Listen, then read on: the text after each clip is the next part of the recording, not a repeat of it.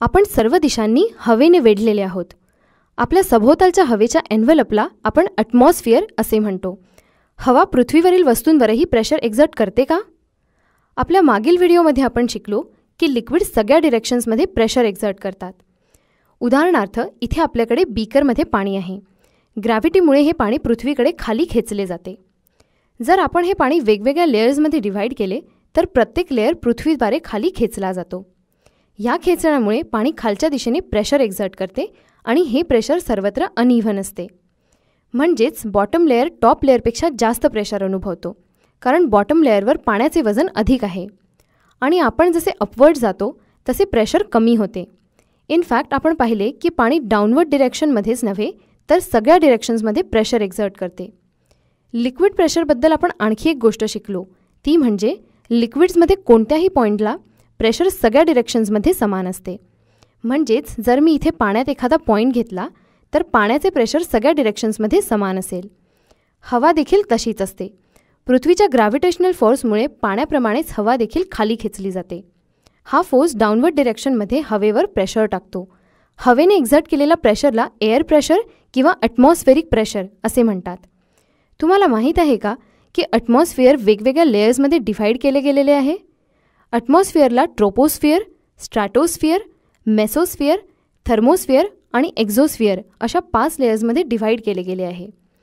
ट्रोपोस्फिअर जो सगळ्यात खालचा लेअर आहे त्यामधील प्रेशर त्याच्या वरील लेयर्समधील प्रेशरपेक्षा जास्त असते. आणि मला खात्री आहे की तुम्ही त्यामागचे कारण गेस करू शकता. याचे कारण असे की स्ट्रॅटोस्फिअरवरील हवेच्या वजनापेक्षा ट्रोपोस्फिअरवरील हवेचे वजन नक्कीच जास्त आहे. हवेचे प्रेशर प्रत्येक डिरेक्शनमध्ये ॲक्ट करते आणि केवळ डाऊनवर्ड डिरेक्शनमध्येच नाही. आणि शेवटी लिक्विडच्या प्रेशरप्रमाणेच पृथ्वीच्या सरफेसच्या वरील विशिष्ट हाईटवर हवेचे प्रेशर सगळ्या डिरेक्शन्समध्ये समान असते. म्हणजेच जर मी पृथ्वीच्या सरफेसवर सेम डिस्टन्सवर हे दोन पॉईंट्स घेतले तर या पॉईंटवरील हवा सर्व डिरेक्शन्समध्ये समान प्रेशर एक्झर्ट करेल. चला आता एक इंटरेस्टिंग ग्राफ पाहूया.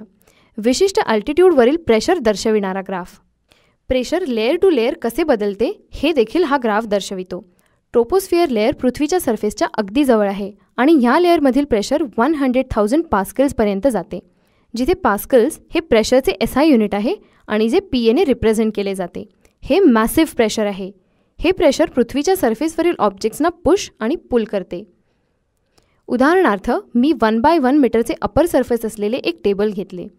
डाउनवर्ड डिरेक्शनमध्ये टेबलवर हवेद्वारे एक्झर्ट केलेले प्रेशर हे वन लाख पास्कल्सपेक्षा जास्त असते. हे दहा हजार कार्स एकत्र त्या टेबलवर ठेवण्या इतके आहे.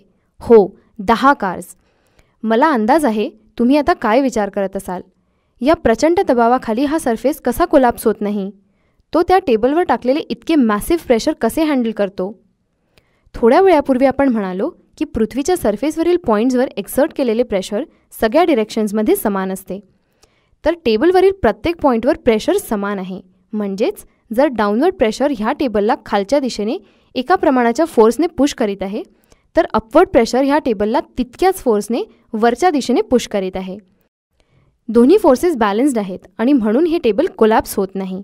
मी म्हटल्याप्रमाणे प्रेशर केवळ ह्या दोन डिरेक्शन्समध्ये ॲक्ट करीत नाही हे सरफेसवर सगळ्या डिरेक्शन्सनी ॲक्ट करीत आहे. अपोजिट डिरेक्शन्सला ॲक्ट करणारे प्रेशर्स एकमेकांना कॅन्सल आउट करतात. इथे एक छान एक्सपेरिमेंट आहे जो तुम्ही घरी देखील परफॉर्म करू शकता. पाण्याने भरलेली प्लास्टिकची बॉटल घ्या. कार्डबोर्ड पेपर घ्या आणि बॉटलच्या ओपन एंडवर तो असा ठेवा. हा कागद तुमच्या हाताने धरा जेणेकरून तो त्याच्या स्थानावरून सरकणार नाही आणि बॉटल उलटी करा. आता कागद सोडून द्या. तुम्हाला काय दिसते? कार्डबोर्ड पेपर सरफेसवर चिकटतो. तो सरफेसवर का चिकटला बरं? इथे एअर प्रेशर आहे ज्यामुळे हा पेपर अपवर्ड डिरेक्शनमध्ये पुश होतो आणि सरफेसकडे धरला जातो. हे अपवर्ड एअर प्रेशर पाण्याने केलेल्या डाउनवर्ड पुशला काउंटर करण्यास सफिशियंट आहे. आता बॉटलच्या बेसवर काही होल्स करा. आता काय झाले? पेपर खाली का पडला? त्यावरचे अपवर्ड प्रेशर ॲक्ट करण्याचे थांबले की त्याची व्हॅल्यू कमी झाली? नाही हे दोन्ही झाले नाही. हवेद्वारे त्यावरचे अपवर्ड प्रेशर तसेच राहिले पण डाउनवर्ड प्रेशरची व्हॅल्यू वाढली.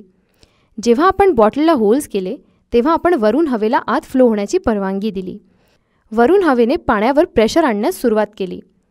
वरून पाण्याचे आणि हवेचे एकत्रित प्रेशर बॉटमपासून हवेने टाकलेल्या प्रेशरला सहज ओव्हरकम करू शकले. म्हणूनच डाउनवर्ड डिरेक्शनमध्ये पेपरवर नेट फोर्स ॲक्ट करीत आहे. म्हणजेच डाउनवर्ड डिरेक्शनमध्ये अधिक प्रेशर आहे. हेच कारण आहे की हा पेपर सरफेसपासून डिटॅच होतो.